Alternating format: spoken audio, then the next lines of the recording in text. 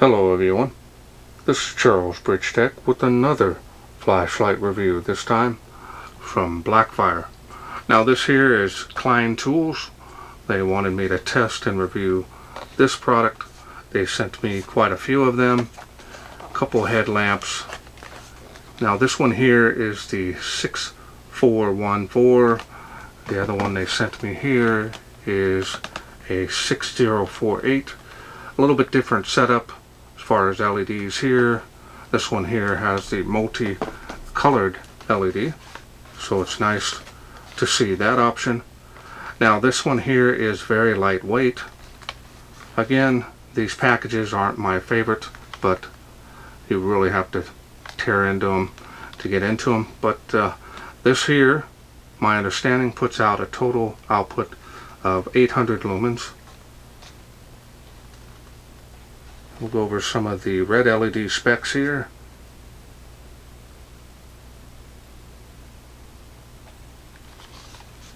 There's the specs here.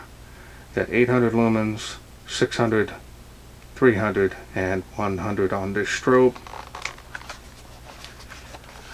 There's the band, USB charging cable. So that's what that looks like.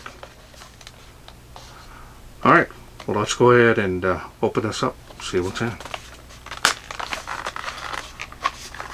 Again, you have to really tear these things open in order to get to them. Once you're able to do that, come apart pretty easy.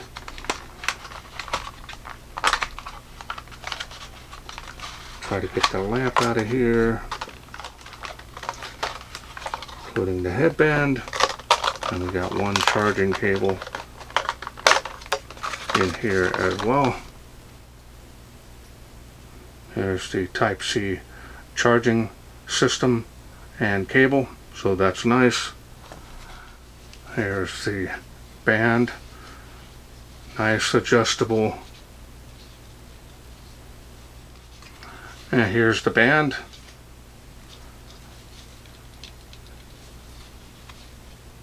Definitely more of a rubber textured here on the inside versus the outside.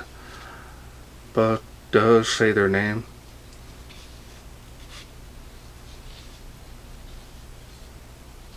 Now this is where the headlamp goes on to, but I'm not too sure what this is for. Now this here is magnetic, so once you lock it in, it's locked in that's how that works. Easily adjust that. There's the inside. Telling you the model number.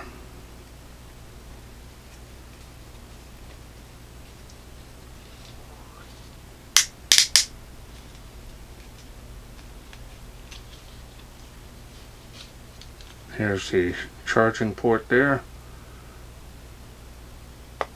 And it's on the side so that's nice versus one that are on the top. If it's raining prefer them to be on the bottom but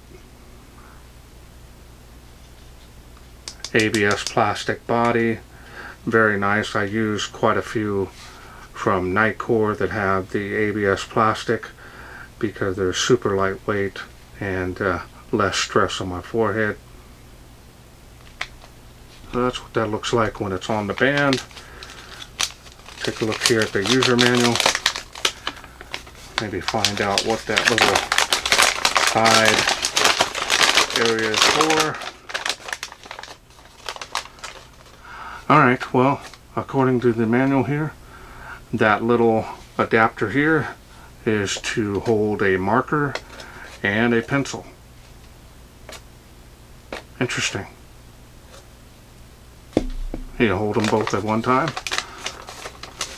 Never seen one with that on there, so that's kind of news to me. Nice manual. A lot of detail in that. Now, as you can see, there's the throwing LEDs in the center, and you have a COB LED, which is more pure flood. Again, easily angle that where you want it. Feels like it's got a a little bit of a magnetic pole there. And with that COB LED you want the full spectrum. You're not going to need to angle that too much.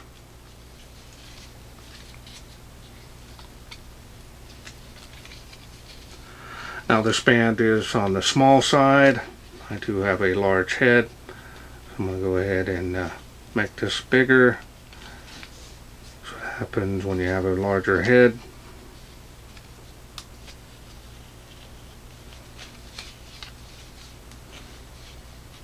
Let me check this out, see if it'll fit me. So now, this fits my head a little snug. I may make it a little bit bigger, but this is nice. Now the ruggedness on this, because it is plastic, in my opinion, are a lot better than the metal ones because the metal ones get scratched up. These ones here, you don't see it too much. And these things here are pretty rugged. Never had any issues with some of the other plastic ones, and I kind of prefer them for most instances that I'm using them for hands-free, especially on projects or as an extra light to have in case one of my other ones go out. I always carry a headlamp. Uh, normally I would take it apart, but this one here is a sealed unit. So now let's go ahead and uh, go through the UI. UI is pretty straightforward on this. Just going to turn it on there. Now that's there is both LEDs on at one time. Show you the beam with that. See a nice little hot spot there. A lot of bleeding around the edge. Huge spill area here. Here I am way out past the light. So now we're going to go ahead and turn it off. Turn it back on.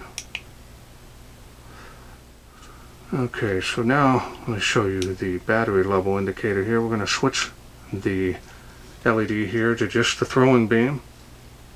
Now I don't know what the, the LEDs are, they don't specify. But there's just the throwing beam by itself. Tapering spill there. That's the same hot spot. Press down and hold again. We'll get you just the COB LED, which is pure flood. Large area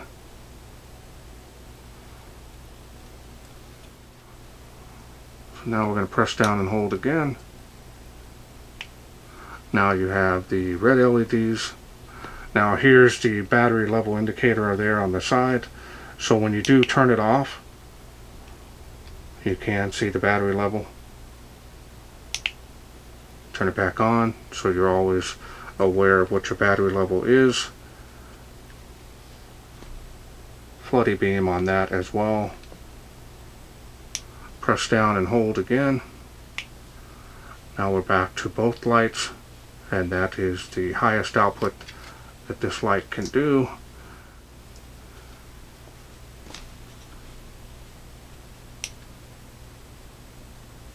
Very nice. Easy.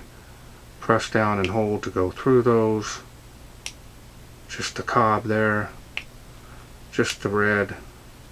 Messes up with my camera and that again is with both. Okay, so now that we've gone through the different LEDs, now we're going to show you the different light levels for each one. Simply go through the light outputs. That's off. Click it one more time. Once you have it on that light level for a while, it will shut the light off. That is a beacon click it one time shuts it off alright so now we're going to turn the light back on. We're going to switch to the COB LED that is the pure flood. You've got additional light outputs on this one. Again shuts it off. Turn it back on. You could use one or the other. So you can use it as a separate light or you can combine them all together. Press down and hold same goes for the red LEDs you now can click on that as a beacon mode on this one and that shuts off. Two light outputs on the red LEDs and we're going to go ahead and turn the red LEDs back on, press down and hold. Now we've got all the LEDs on, both combined LEDs on, you do not have any other light levels. Press down and hold. Now the beam performance on this is nice. It did well in my tests, kind of was able to play with it in the package and uh, it passed my evaluation to bring here on my channel. These here are affordable. They are nice and well built. So now just a reminder, this does have the quick release. Also a nice feature, I was talking about the magnetic backing. You can use this as a hands-free light. Now this is nice because you can place it on a metal surface. You can also angle it on the metal surface. So great hands-free. It is a strong magnet on there. That is a very nice feature to be able to have two worlds, especially if you're camping. You want to stick this, you know, by itself without it on the band and use as an emergency light. Huge plus in my opinion. Alright, well let's wait no further. Let's take this outside, see how it does in the wilderness. We are out here in the darkness with the multicolored Blackfire headlamp on my head and we're going to go ahead and turn it on. It's the highest setting for both LEDs. As you can see, it is raining out here. Been crazy weather. There's the beam on the fence. Nice spill area. I've got a cover on my camera, so hopefully this is just coming and going. That's the light I just tested and reviewed there. Just heavy to carry on my pants, so set it to the side for a minute. So now we're going to go ahead and do the different light outputs here. That is the throwing LED, still got good spill. 65 feet there to that tree. There it is. There, water spout 38 feet it is making tree of life so you've got about 100 and maybe 150 feet of good usable light output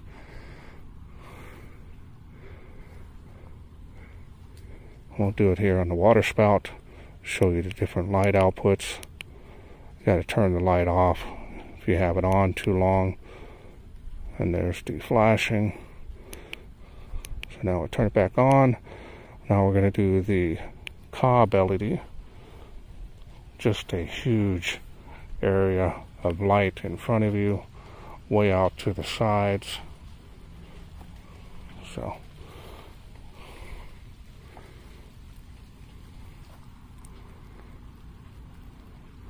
yeah, coming down pretty good now. So, let's do the red LEDs here real fast. So, we've got the red LED on. So, you've got easily 8 to 10 feet of usable light output with this. And maybe about 15. That's about 12 to 15 feet to that fence. Well, pretty good.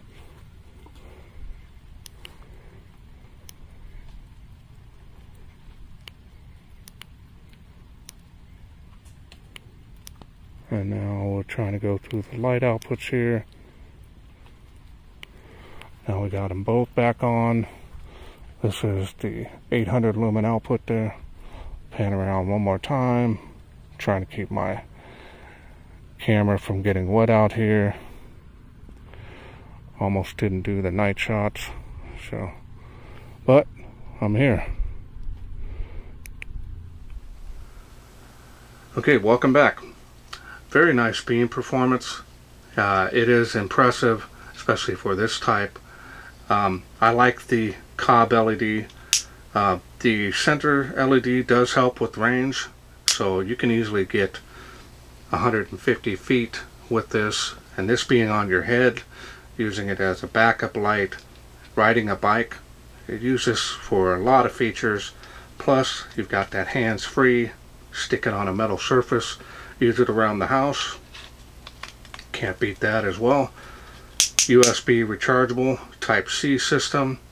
Get you started and back up, ready to go quickly. The Type-C has its benefits over the other ones because you can put it in either way. So that is a huge plus in my opinion. Now the red LEDs are definitely more for up close so they don't have a lot of throw to them. Overall build quality is nice. I'm not seeing any issues with their products and that's why they're being featured here on my channel. Now if this 6414 version of their product headlamps is something you are interested in getting, remember it comes with everything you need including the built-in battery. I will leave a link in the description. Also working on a special discount code there as well to help you save some money on this even though it's already affordable as it is just in case you're interested in getting it. Well that's it for me. I hope you enjoyed this video. If you did, please share, like, and subscribe. That way I can bring more of these Blackfire headlamps to you in the future. Thanks for watching. Take care.